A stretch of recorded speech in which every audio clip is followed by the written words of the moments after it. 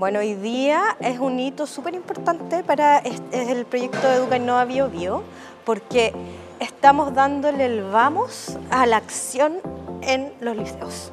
Todo el trabajo previo que partió el último trimestre del año pasado eh, tenía el sentido de darle un marco, un contexto y precisamente una pertinencia territorial al proyecto. El comprometer a los actores locales, el desafío de innovar en educación en la provincia.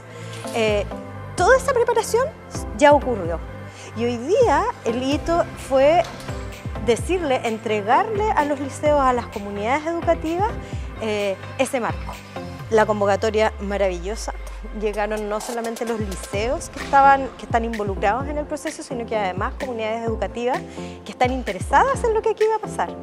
Llegaron los representantes de, las organizaciones que participaron en la mesa eh, del ecosistema o multisectorial eh, y eso no solamente le da realce a esta actividad, sino que le da respaldo a todo el proceso que desde hoy día en adelante también comienzan a vivir las comunidades educativas.